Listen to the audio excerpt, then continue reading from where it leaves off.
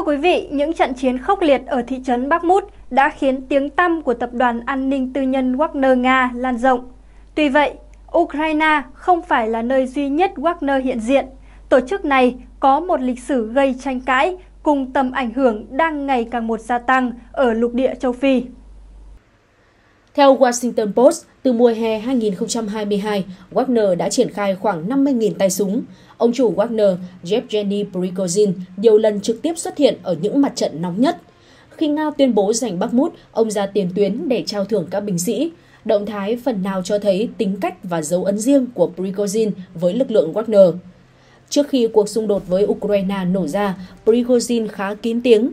Trong nhiều năm từ sau sự kiện Nga sắp nhập bán đảo Crimea năm 2014, truyền thông phương Tây nhiều lần đăng tải các bài viết về một tập đoàn an ninh tư nhân có tên Wagner và mối liên hệ với Prigozhin. Tuy nhiên, vị này nhiều lần bác bỏ mọi liên quan đến hoạt động của Wagner và mới chỉ công nhận vị thế này tháng 9 năm 2022. Thông báo của Wagner khi đó mô tả họ đã tham gia bảo vệ người dân Syria, các dân tộc khác của quốc gia Ả Rập, những người châu Phi và Mỹ Latin có hoàn cảnh khó khăn.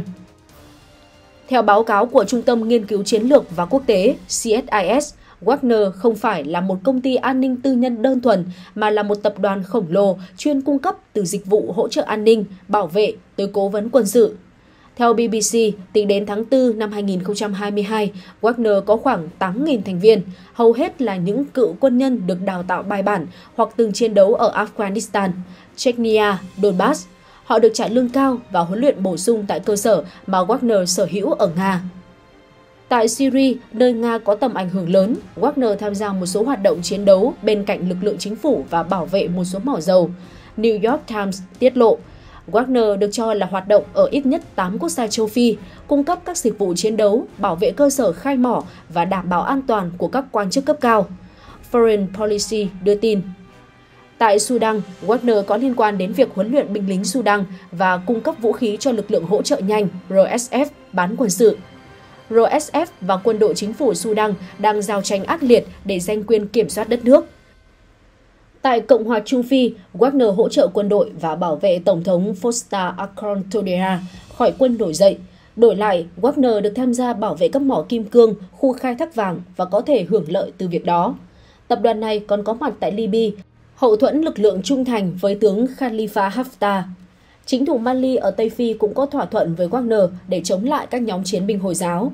Tương tự, các lực lượng của Wagner được triển khai tới Mozambique từ năm 2019 để tham gia chống khủng bố nhà nước Hồi giáo IS tự xưng. Trên lãnh thổ Burkina Faso, Wagner đang thảo luận về các thỏa thuận an ninh mới. Nước này tháng trước đề nghị Pháp rời đi sau nhiều năm chiến đấu chống các nhóm phiến quân. Truyền thông và cánh tình báo phương Tây không ít lần đưa ra những cáo buộc về việc Wagner chịu trách nhiệm về một số hành động tàn bạo tại những nơi họ hiện diện – Tuy nhiên, có một thực tế được thừa nhận rộng rãi là Wagner rõ ràng đóng vai trò trong việc tăng tầm ảnh hưởng nói chung của Nga ở châu Phi. Trở lại tình hình Bakhmut, giới chức Ukraine và phương Tây đưa ra các thông điệp khác nhau về tầm quan trọng chiến lược của vị trí này. Tuy nhiên, thực tế Wagner đóng vai trò chính trong việc đẩy lùi quân đội Ukraine, được NATO hậu thuẫn chứng minh năng lực của đội quân do Prigozhin đứng đầu. Vị thế thực sự của Prigozhin cũng kéo theo không ít cuộc tranh luận khi ông này từng công khai chỉ trích Bộ trưởng Quốc phòng Nga Sergei Shoigu và chỉ huy giám sát kế hoạch quân sự của Nga ở Ukraine, Tổng tham mưu trưởng quân đội Nga, tướng Valery Gerasimov, với lý do Wagner không được cung cấp đủ đạn dược cần thiết. Trong khi phương Tây mô tả cách Prigozhin bình luận với các lãnh đạo quân đội Nga là chỉ dấu của những dạn nứt nội bộ, cũng có nhiều ý kiến cho rằng đó là đòn tâm lý của ông trùm Wagner – một số ý kiến khác đánh giá các phát ngôn của Prigozhin chỉ đơn giản phản ánh cá tính của vị này. Thực tế chiến trường cho thấy, dù thường xuyên phản nàn về việc thiếu đạn dược, Wagner liên tiếp mở rộng khu vực kiểm soát ở Bắc Mút Kết quả đó đạt được nhờ hỏa lực hỗ trợ kịp thời của quân đội Nga. Rất khó để hoài nghi về sự phối hợp nhịp nhàng giữa Wagner và quân đội Nga. Cách đây không lâu, ông Prigozhin cũng đã từng tuyên bố mục tiêu của Wagner không phải là chiếm Bakhmut mà là nghiền nát quân đội Ukraine. Ở một mức độ nào đó, kế hoạch này đã phát huy hiệu quả.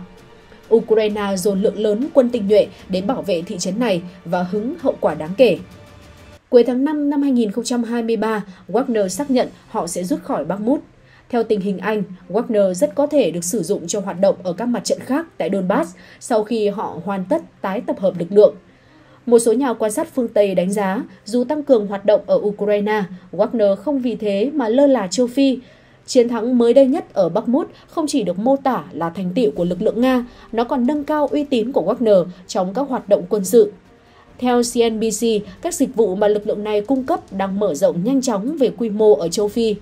Vài tuần trước, ông Trung Wagner từng gửi bức thư tới Ngoại trưởng Mỹ Antony Blinken, trong đó viết vì phần lớn người dân châu Phi không tin tưởng vào các chính sách của Pháp và Mỹ, đồng thời xếp hạng tín nhiệm của họ rất thấp. Tôi đề nghị ngài từ bỏ nỗ lực gây ảnh hưởng chính trị ở châu Phi và chú tâm đến các dịch vụ an ninh mà Wagner có thể cung cấp.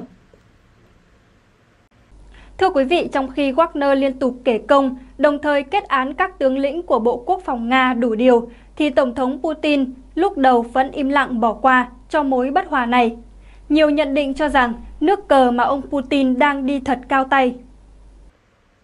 Sự việc đẩy lên cao trào khi Bộ Quốc phòng Nga yêu cầu các binh sĩ Wagner ký hợp đồng để thống nhất hành động về một mối, thì ông trùm Prigozhin kiên quyết phản đối. Thậm chí khi Tổng thống Putin đã tỏ rõ lập trường ủng hộ Bộ Quốc phòng khi phát biểu gần như ra lệnh, điều này ký hợp đồng phải được thực hiện và nó phải được thực hiện càng nhanh càng tốt, thì Prigozhin vẫn khẳng khái nói không. Một số nhà phân tích đã nghĩ đây chính là làn danh đỏ, thuần phục hoặc tiêu đời.